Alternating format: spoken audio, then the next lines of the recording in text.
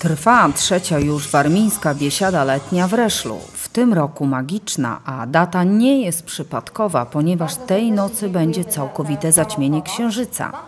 Impreza odbywa się pod patronatem Marka Janiszewskiego, burmistrza Reszla. Organizatorzy się zgłosili, czy gmina no, wspomoże finansowo, dlatego że pewni e, sponsorzy się wycofali, a może mniej dali, dlatego brakowało tych środków, żeby to dokończyć, znaczy odpowiednio przygotować. A to jest dla, dla naszych mieszkańców. Tutaj jest grupa również bardzo dobrze, mocno zaangażowana w te działania, te wiedźmuchy.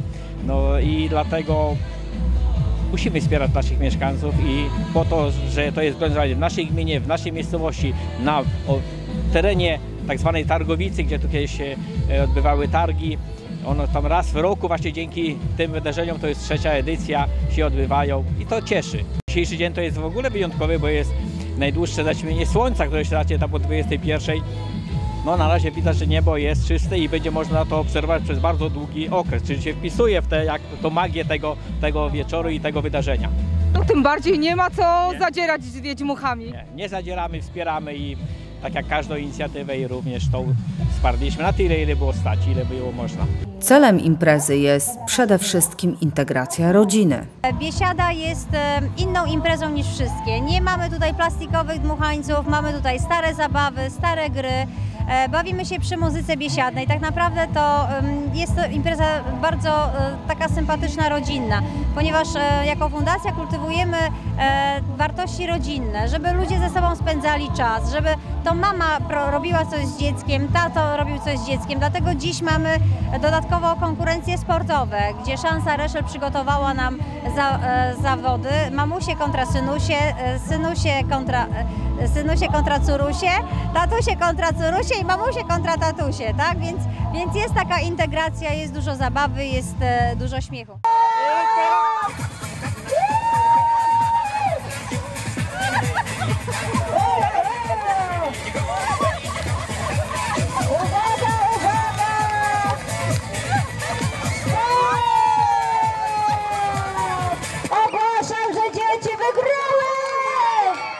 To nie jedyna konkurencja. Fundacja Kłobuk, która jest organizatorem imprezy, przygotowała moc atrakcji dla uczestników. To będzie fitness folk, e, czyli będzie zabawa, przy, zabawa, ćwiczenia przy muzyce folkowej, po prostu przy folklorze. Mam nadzieję, że przypadnie do gustu, że się pobawią. Jest to wszystko w formie zabawy.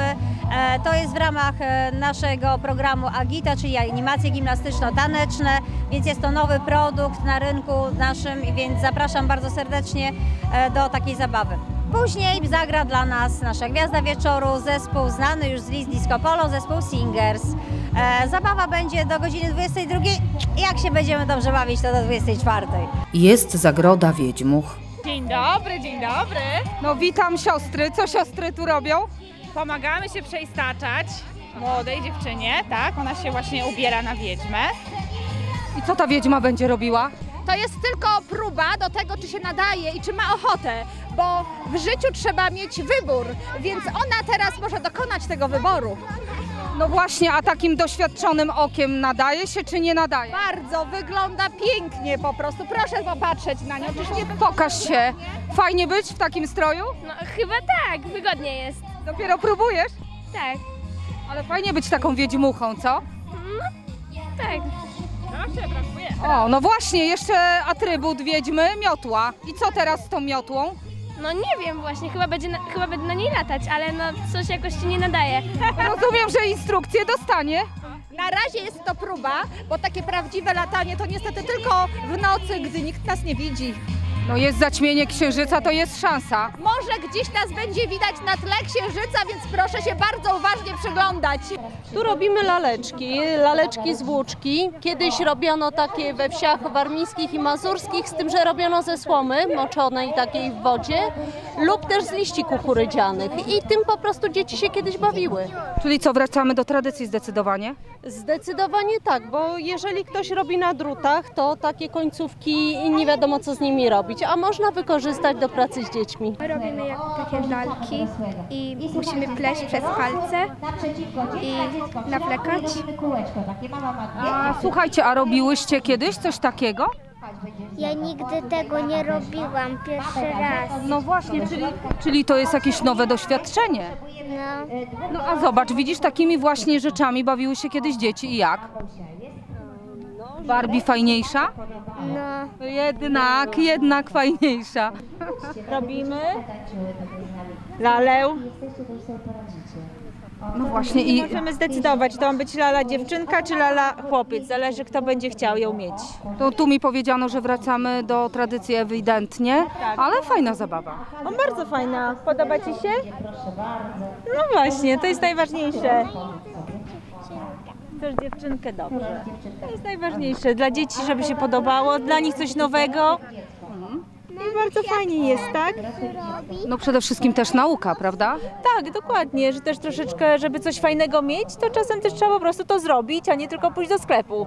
No dokładnie, chociaż dziewczynka powiedziała, że woli Barbie. Tak? Tak. Podoba Ci A no właśnie, podoba Ci się? Powiedz. Tak? A czemu Ci się podoba? Co jest fajnego? Się zrobiliśmy. Sama zrobiłaś, prawda? Nie z mamą. I z mamą, dokładnie. I co teraz z tą laleczką zrobisz? Pobawię się z nią. Ale rozumiem, że będziesz dzisiaj z nią spała. Tak. No i fajnie. I wioska warmińska. W tej naszej wiosce warmińskiej mamy zestawy, e, mamy e, warsztaty kaletnickie, mamy warsztaty tkackie, bawimy się trochę zimną porcelaną, mamy glinę, e, co jeszcze mamy? Bawimy się z dziećmi, e, fi, robimy filcowanie, czyli pokazujemy dzieciom jak z wełny zrobić sobie wzorki na filcu. No i to są takie właśnie kreatywne warsztaty, które rozwijają wszystkie te takie umiejętności manualne. Dzieci są zachwycone, bardzo chętnie biorą udział w tych warsztatach uczą się czegoś nowego, czegoś, czego może nie znają ze szkoły albo z domu i jest to dla nich naprawdę super zabawa. Czyli poznają jakieś nowości, które są dla nich nieznane wcześniej. Tak, nowości, które dla nich są nieznane, a być może były znane dla ich, e, ich babciom, ich prababciom, pradziadkom, dziadkom. Dlatego myślę, że to łączy po prostu pokolenia. Jeżeli ktoś przyszedł z babcią albo z dziadkiem, to na pewno babcia albo dziadek chętnie pomagają i pokazują, jak to się kiedyś właśnie żyło, jak to się wszystko wytwarzało. Się nie udało, Podzieli się ze sobą. Ja nie chcę,